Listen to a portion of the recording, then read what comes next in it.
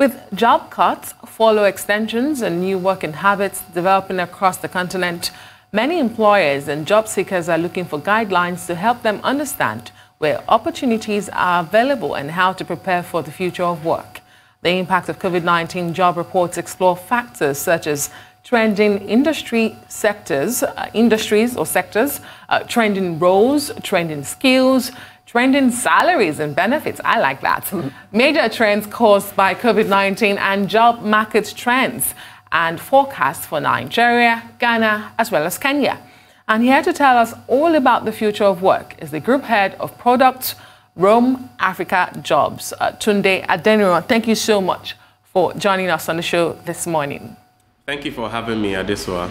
Glad to be here. Indeed. Well, the pandemic has changed uh, our way of life. Uh, especially the way we do work. There's a culture shift a few of us saw coming. But tell us, before we go into the report proper, uh, just how well are we coping on the continent with this new way of work?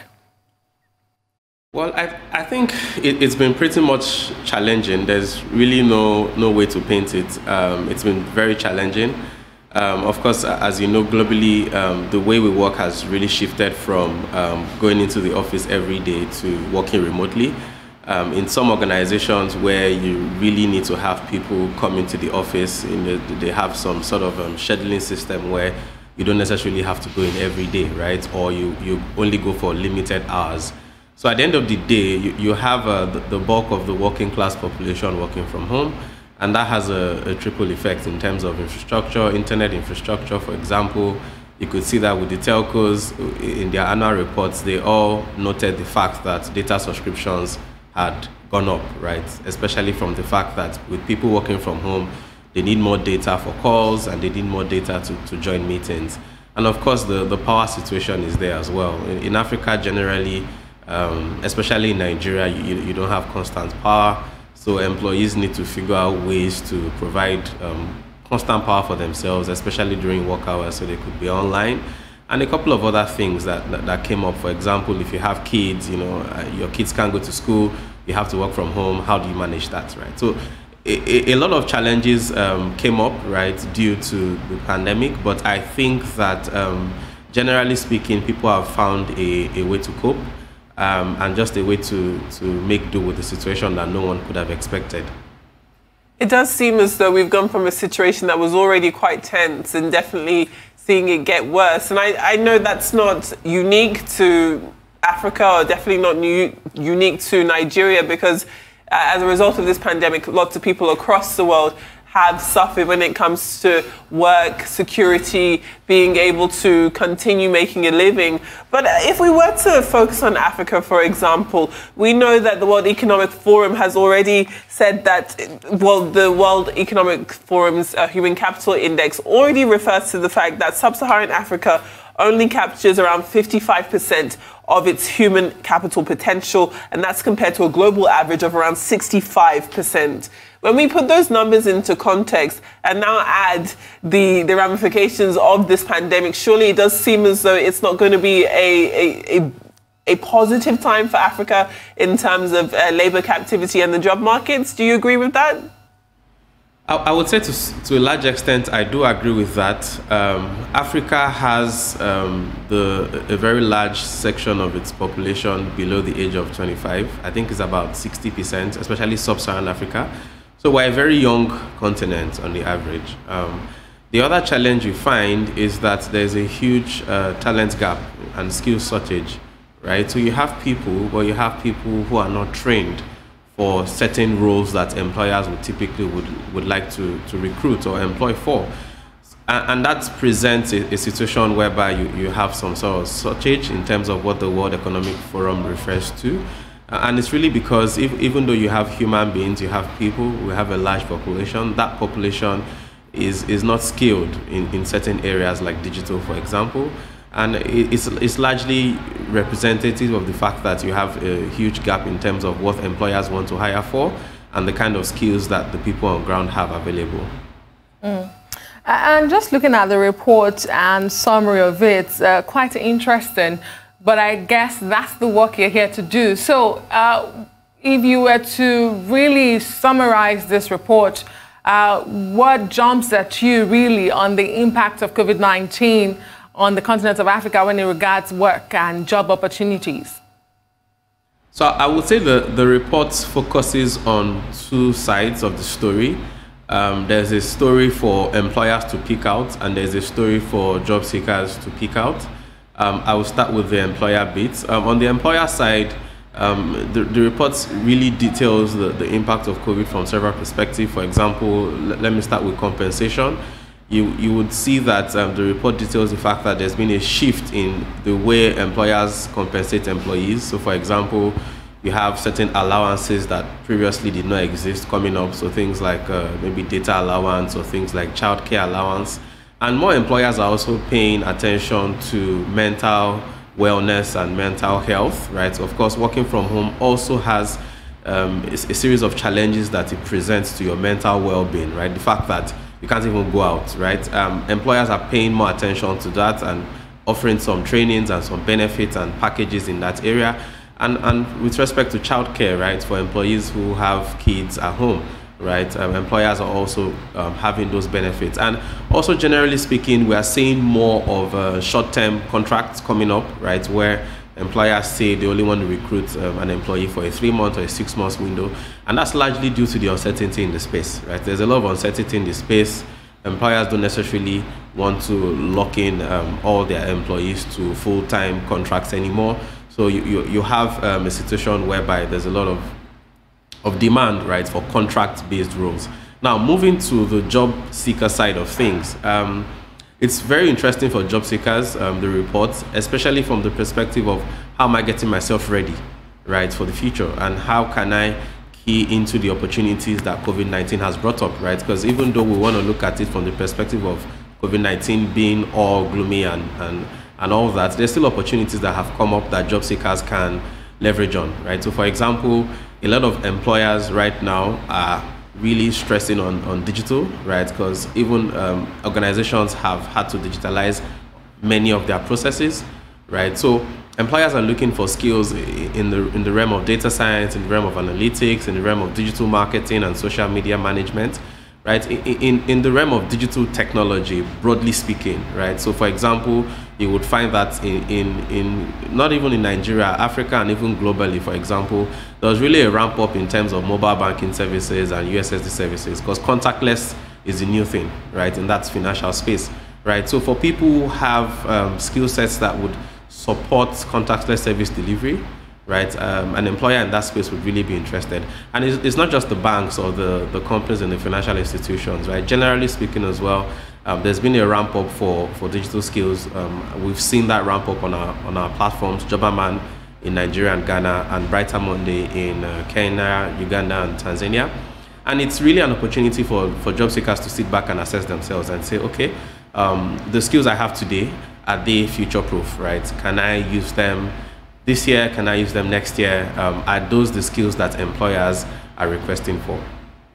Indeed. Well, I wanted to speak a bit more about Roam itself. I know that there is a huge inundation of people looking for jobs. So where you have a situation where you put in a listing for a specific job, you will have a whole heap of applicants looking for it. And I'd imagine that for a platform like yours, that's a good thing. But looking at the research that we've done, it does seem as though lots of people uh, of recent are applying for jobs that they may not specifically have the experience or the skill set for. Uh, I mean, an easy answer would be to say that the, the pandemic has made people a lot more desperate and you're definitely casting your net a lot wider when you're in a job hunt. But when it comes to the quality of job seeking, do you think that that does a platform like yours a disservice in the long run? Well, I, I think that I will corroborate what you what you just said. Um, about sixty percent of the applicants on our platform, we see that they don't qualify for the roles. Um, th- that's due to a, a, number of things. One is, of course, a lot of people have lost their jobs, so there's a lot of more unemployment and underemployment in the space currently. Um, and of course, that means that uh, you have more people who want to get back into the job market or people who want to get into the job market newly. Um, and then you will find that the competition, right, for the few jobs out there has really increased. So, for example, you would see that um, in the report, you would see that with some jobs we had over 2,000 job applicants, right? And they are probably looking to hire just one person. So that's intense competition. On the average, though, we, we, we typically see about 130 to 150 uh, job applicants uh, per role. Um, so there's really intense competition, and I think there's the element with job seekers of just trying to lock. Um, maybe some of the job seekers who are faith based would, would want to um, apply their faith and, and try to see if they could get the role. Um, but, but, but largely, I think it also spells out the huge imbalance between the skill sets that employers want to hire for and the skill sets that job seekers present. And I, I think for, for job seekers out there, it's really an opportunity for them to reskill and upskill, right, to better align themselves with uh, those skill sets that employers want to, to hire for. So it's not too late to rethink career options at this point? No, it's not. It's not too late. Okay. Now's um, the best time. Mm. And as with everything with this pandemic, uh, even though it's a single pandemic, it has become more like different strokes for different folks. Um, why there was a decline in hiring in some places, according to the report, there was an uptick in other sectors. But I want to ask you, was that a general trend across the continent? I think it was. So, for example, in the healthcare space, you would find out that Virtually every country who was impacted by COVID had to hire a lot more people for contact tracing roles, for example. And that's typically a contract uh, based role, but you, you, ideally would need to have some health background, right? So you would see that there was a, a really huge ramp up in healthcare, right? Because uh, just generally speaking, governments and NGOs supporting governments um, had to hire a lot of people to not just treat uh, people who, who got sick, but also to try to identify um, others who may be spreading the COVID-19 disease, right, which we call contact tracers. Um, so contact tracing is, is, a job role that we saw like really um, amplify, right, due to COVID. And in other industries as well, we've seen a shift, right? So for example, we, we see companies hiring a, lo- a lot of people in the sales roles, especially people who have uh, telesales capabilities, right? Telesales is um, you being able to call employer by phone and sell to the employer remotely, right? Um, so employers shifting focus from actual um, skills that involve physical selling to digital selling, right? You're selling online, or you're selling via a phone call, or you're selling, selling via email. In which case, you're hiring someone for telesales, or you're hiring someone for digital marketing, or you're hiring someone for, for customer experience and customer service, right? Um, so definitely, you, you, we've had a situation whereby um, skill sets that require um, physicality for, for delivery um, have seen a ramp down, while skill sets that are digitally savvy that can be um, where you can sort of measure outcomes or you can sort of deliver value through the internet or remotely have seen some form of uh, ramp up. Hmm. I wanted to again. I don't want to get too deep into the business of Roam Africa, yeah. but I, I can't imagine that uh, Roam itself hasn't been hit by the pandemic, by the effects of it. I know that you're the, the company itself is solutions based. You're looking for a job, we'll come onto our platform and we'll help you do that. How have you been negatively impacted by the, the pandemic, if at all? Yeah, I, well, I, I think it's hard to find anyone who hasn't been impacted right? Um, negatively right? It, it, it's also it's more that you may have uh, retweaked your business strategy to uh, dampen that negative impact. One of the things that we had to do to respond um, to the pandemic was to make it free for employers to list their jobs on our platforms right? We typically would charge a, a, anywhere from um, $25 to $40 from a country to country basis so for example in nigeria you pay about 10500 right um, to list your job but from March, um, because of the pandemic, we had to make it free. And, mm. and the goal of that, we, we know that only about 30% of hiring happens online today, right? The majority of hiring. It is time for us to take a very short break. Stay with us. Welcome back to Arise News. Where we are, of course, hosting the morning show. Still with us is the group head of products at Roam Africa, uh, Tunde Adeniran. Tunde, I'm so sorry we did crash to a break while you were in the middle of your answer there. Just to remind yourself and our viewers, we were discussing uh, Roam's personal experience with the pandemic, and you were you had already said that I think any of us would struggle to find a company or any person who hasn't been impacted by the virus. If you could continue on on your point there. Um, we looked at the situation of things and, and we looked at the data that was available to us at that point in time. I mean, macroeconomic data in terms of projections in impact to the economy. And one of the things we decided to do early on in March was to take our listings free, whereby we sort of encouraged employers to transition from offline to, to online, right? Um, and the reason why we had to do that was because we, we, we know the fact that um, only about 30% of recruitment happens online right? So you still have a lot of um, employers who list their jobs in newspapers and magazines, for example, or just through plain old referrals, right? So there's a lot of activity that's happen, happening outside of the internet in the physical space. And of course, due to COVID, there's a lot of restrictions around that, right? So we, we said to ourselves, well, what's the best way to, to, to encourage that transition to digital, right? And one, one of the ways we, we thought to execute that was to make it free to list on our platforms across our different countries. So Nigeria, Ghana, Kenya, Uganda, Tanzania, um, and Senegal as well. And the, the impact of that we, is that we saw a, a, huge bump, right, in terms of employers shifting focus from, of course, the offline methods, which they, they were already used to, to, to the online methods, right? So, so for us, that was turning a negativity into a, a positive thing, right? Um, of course, we had to um, reshift our, our business model because um, revenue was, was um, was something that we, we, weren't so focused on at that point in time. Otherwise, we wouldn't have taken that decision to go free. Um, but just, just looking at um, being supportive of the ecosystem as a whole, Africa as the ecosystem as a whole, um, it, it's, a, it's a decision we, we, we made, and I think it was a very good decision because we, we could then see that employers uh, were still recruiting, right? Um, of course, the, the kind of roles they were recruiting for um, switched or changed right? But they were still recruiting, and you still have a lot of job seekers who got jobs in the pandemic, right? So it, it was a it was a joy for us to to make that happen and just support the ecosystem as a whole. How noble of you to have done free listing. Uh, but I'm wondering, uh, are there any other solutions you are offering, maybe not free, uh, to better equip job seekers uh, post-pandemic or even during this pandemic? Because really, none of us know when it will be over, uh, despite the rollout of vaccines in some countries. Uh, so are there any other solutions you're offering to make you know, the workspace better for employers, employees, and then the job seekers better equipped? Yeah, so we have a lot of initiatives. We have a lot of initiatives for, for employers, right, to help them find the right candidates and job seekers. So, for example, on our platform, we had to rethink um, the process for recruitment, right? So, um, we had to digitize the assessment product, right? So, for example, on our platforms on Jobberman in Nigeria and Ghana, Brighter Monday in Kenya, Uganda, um, employers can run uh, digital assessments for job seekers, right? And that means that the job seeker doesn't have to go out to risk himself, right, to do a test, right? He could do this test from his mobile phone or from his lap for his laptop. Now, for job seekers, we have a whole lot going there as well.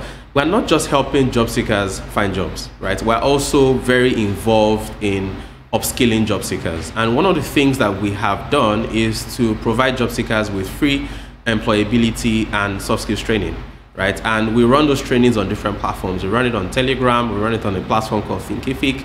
Um, we've also partnered with Coursera, um, the global um, online learning platform, to offer this training to job seekers. So um, any job seeker who wants to get employability, employability skills or soft skills training, and it's a whole long list of things that you're going to learn. You're going to learn um, um, presentation skills, you're going to learn negotiation skills, you're going to learn workplace skills, you know, very long list of training catalog that we have put together internally within the Jobberman uh, Nigeria team.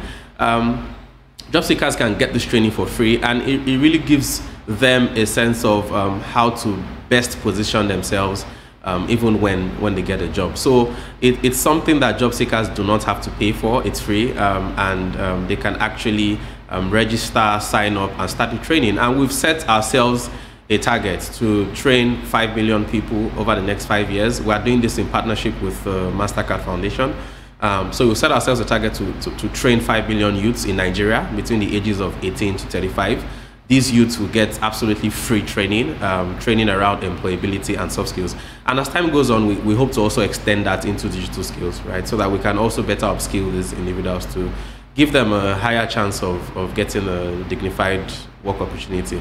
I mean, that definitely sounds like really good work being done. And I hate to drag this conversation topic to the gutter because we were doing so well. However, you know, you were talking about all of the different skills that, you know, are needed skills that you provide. And it, it just struck it just struck in my ear as we were talking there, customer service. Here in Nigeria, I'm like, I love Nigeria, I love being Nigerian. However, when it comes to customer service, I think I think Nigeria is among the um, the places in the world I've been to where I've experienced the worst customer service. So when we looked at this report and we found out that uh, customer service and support uh, was the most declining job function, not only in Nigeria but in Ghana too, uh, with around two and with around uh, two percent in Ghana and five percent in Nigeria, I just thought, well, wow, that is true, isn't it? That's definitely my experience. What do you think can be done to uh, alleviate those negative numbers and, of course, boost Nigeria and Ghana's uh, profile when it comes to extending a higher level of customer service? Well, so so I think that's that data can speak to many things. Um, maybe it's and this is just me hypothesizing, right? So maybe it speaks to the fact that employers do not pay a lot of attention to customer service, right? That's theory one. Um, another theory we could also explore is it could potentially speak to the fact that there's been a transition in how employers think about customer service. And I think this is more likely it, whereby um, a, a, lot of employers are transitioning from physical customer service where you have someone behind a desk to somebody who is, who is working from home, right? Um, and it, it, it's there's no way to sugarcoat it, right? Um, the customer service culture in Nigeria, West Africa, Sub-Saharan Africa as a whole is not as mature as um, what it is in advanced countries, right? So in many cases, even when um, you have a customer service rep, is that person like appropriately trained? Does that person show empathy to to customers? You know, um, if you if you gauge the experience between um, walking into a, a, business here or walking into a business in some other countries where they have that customer service culture, you, you would also notice it, which you've alluded to, Femi.